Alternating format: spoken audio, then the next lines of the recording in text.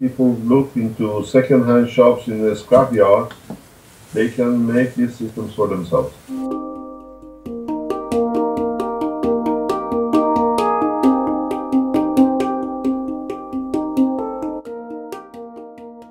uh, what do you call it? Uh, pressure cooker I picked up here.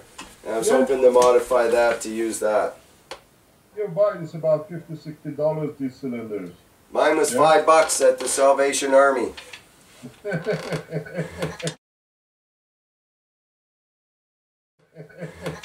That's where I get all my good things. yeah. Okay. I'll bet you It's surprising. I walked through I walked through the Salvation Army looking for plasma reactor parts, you know. I've done that as well, don't worry. I spent an hour. Uh, um the uh, lady dragon knows. She called me. I was at the refrigeration uh, supply place yesterday, and we talked for about an hour while I was wandering around there, looking at all the neat things. Like I was lusting after a vacuum gauge that cost about three hundred dollars, for example. Yeah, well, the thing is, uh, this is what I do in my writing that I always explain. There is enough material around the world that even in Africa, if people look into second-hand shops in the scrapyard, they can make these systems for themselves. Very cheap. That's right. That's really encouraging. And you know what changed? What changed my life a few months ago is when I heard you say something about um, that there will be people making these reactors in their garages, and that to me, that's you know kind of what I do. I I'm an inventor and mechanic and so on. That's what I've always done. So that was so invigorating and so much of a grand idea to me that it might be that simple, you know, that it isn't really rocket science. It's actually simpler than rocket science, but it's Rocket still still very exact. Rocket science belongs to NASA. The spaceship program belongs to the people in their homes. That's right, exactly. I got a quick question. Yes. Okay, I will turn on the video for a moment. Uh, this, I don't know if you can see it. No, not, not better. Yeah. This is a container from uh, balloon uh, gas. I have one pipe going to the bottom, and the other pipe is uh, going to the same top. And I was planning to fill it with water in order to discharge the reactor inside. No, no, no, no, no. Don't use any liquid because the wafer goes back into the reactor. It, causes all sorts of problem with you. Um, the once the once you extract the gases from your core, the minute it hits the wall of the the cylinder as you have, it releases its energy into it. That's it. But it has an advantage when you use a cylinder like the one you have. You, whenever you want to create vacuum, you go and start the pump.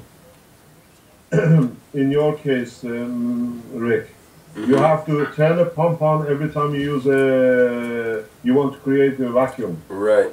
With a double chamber, even if it's to outside, you you always have vacuum as a reservoir. Mm-hmm. You just open it and it's there. You don't need to use your your vacuum pump. Mm-hmm. Especially when you use a molecular vacuum pump, these are timed because uh, they can get damaged. Molecular vacuum pumps very easy, and they, uh, they usually have a timer on them how much you've used them.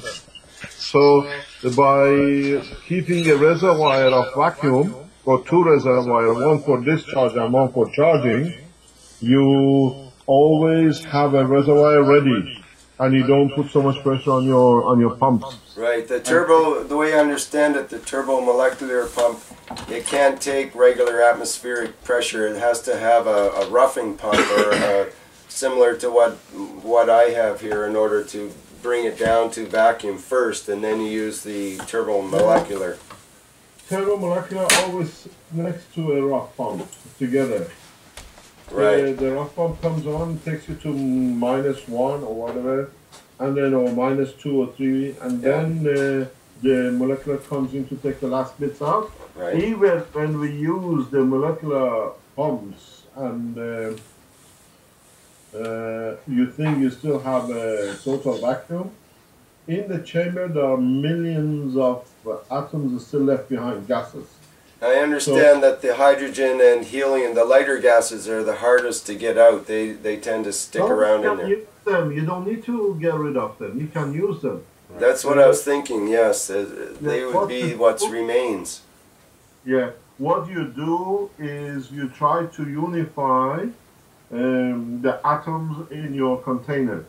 What this means is instead of having, when you do the first uh, vacuum, you pull out a lot of things. It's all helium, nitrogen, whatever CO2 in the in the cylinder. But there's still some of them left. What I always do before I start a test, I feed in three or four times hydrogen. When you feed in hydrogen, you reduce, uh, you then you vacuum it. Then you put uh, hydrogen in second time and you vacuum it. And then you do it. You reduce the, you minimize the contamination of any other atom. But um, if, for example, you're using plastic or glass, even metals, uh, certain condition of the vacuum releases part of the material which is in the construction, in the structure. So uh, contamination through the wall of your Hydrogen. core is a natural process. So uh, you have to build up this layering that you push heavy materials or heavy gases or any change of composition in the structure of your reactor not to come in touch with the plasma. Do You understand what I'm talking about? Now, is part of that um, to ha- the way I understand it is having a copper reactor helps with that a lot because of the uh, when the, the magnetic field of the plasma gets close to the wall of the, the copper reactor, it will tend to repel because of the induction uh, magnetic induction forces involved. We Is have, that- plastic, rea- we have plastic reactors. So, do, does the plastic repel the plasma, or is it just the combination of gases inside that are correct for an insulator? You, you use the gases as a shielding, as a containment. You have a solid containment of the plastic. Uh, one of the best things to use is carbon. If you can get carbon gas, Carbon Uh, gas, yeah? yeah, but the carbon is very, it's a, it's a specifically some, uh, some places it's very easy to get. Yeah? Hmm. I haven't, haven't heard of carbon gas. That's an interesting I idea. produce it, I produce it myself. Okay. This is the this is the structure of um, um, you work with a CO2 uh, as you buy to carbonate the drinks. Yeah. Yeah. Uh, through a specific process, you separate your carbon.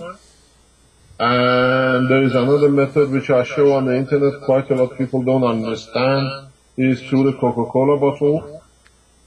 That's the easiest way to do. Then you use your carbon for um, what do you call it? Hmm. Uh, So- it behaves it behaves uh, as a conductor and a resistor at the same time. Depends how what vacuum condition you put on your central core. Hmm. Uh, CO2 Now this wouldn't work with straight CO2 or, or with um, I have I have welding gas for my MIG welder, which is um, CO2 plus argon. Yeah, well, you can use that. We've done that, but the thing is, if you use CO2, Then you end up with O2 you in have a there. hydrogen, you get a moisture in your reactor. You get Right. a natural force of moisture, and then if you get to the positions, you find out a lot of your valves externally between the core and the pump. They start rusting internally. Oh yeah. This is somewhere where the condensation becomes vacuum uh, to, to water. I have a lot of, it took me a long time to discover why I'm losing my valves. Huh. Wow. Because you create a condition of a rust very quickly in those positions. So these are little, little things you learn by experience and you try to find out why you get to these positions because you you run your vacuum pump and you don't get to vacuum. Yes, well, last week we, we discovered about uh, using water. We put water in our vacuum chamber and uh, high voltage just to see what would happen there. And the vacuum pump uh, oil got contaminated really quickly. It's got all foggy and, uh, and sort of yucky looking. So I changed it, had to change the oil in the vacuum pump. It oxidizes because it takes in the moisture from the, the, the oxygen from the water. Right. The, you have to keep away all the time from combination gases, gases which can combine to give you new matters. This, in, in some cases, you deliberately create the condition to create material. Right. So would, what would some gases be that would be true contaminants? Like would oxygen be an obvious one that would tend to you don't touch oxygen. You wouldn't want to have uh, even the CO2 part of the CO2 wouldn't be a good idea probably. Uh, these are the things you have to learn by experience and if you you always you know I do this all the time when uh, the the last barrier before your vacuum pump has to be microfilters that they stop any new material built in your reactor, any moisture to be absorbed. Yeah? Um, so these things create, get created in um, even in the pipes. If you understand the structure, you can allow in part of your pipe while you're running your test, to create protein. You know the glow you saw in your pipe? Yeah? The what in the pipe? You know, you said you, you could see glow yes, in your, right. with the pipe between the vacuum and the chamber. Yeah. You can create conditions around your reactor that in different sections you produce different materials. Huh? So you, you produce liquid, you produce matter. And if you can feed in part of your pipe the specific condition gases, you can produce protein. This is what we done in Tehran, yeah? Because we understood, uh, uh, we understand the structure. But now scientists like you have to test to come up with different ways of doing it. The way I say my pattern, I cover every aspect of it.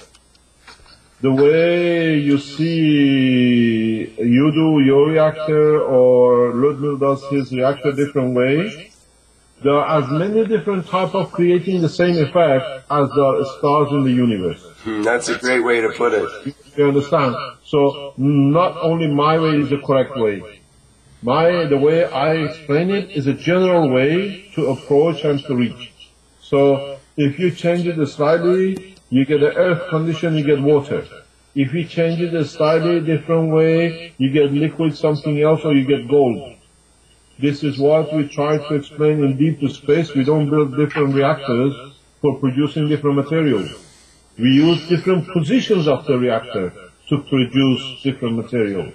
This is a misconception, misconception which I see a lot of people do when they read my patent. So, if you want uh, energy of the protein, you go closer to your core. You want less, you go further out. And that energy is always there. Energy is magnetic field in motion. You have to decide in your reactor in what strength you want to be, and then you calibrate your reactor core that this position gives me protein level. This level gives me copper core. And then when you can tap into it, when you extract it, it gives you different material. Material production in the universe is that way.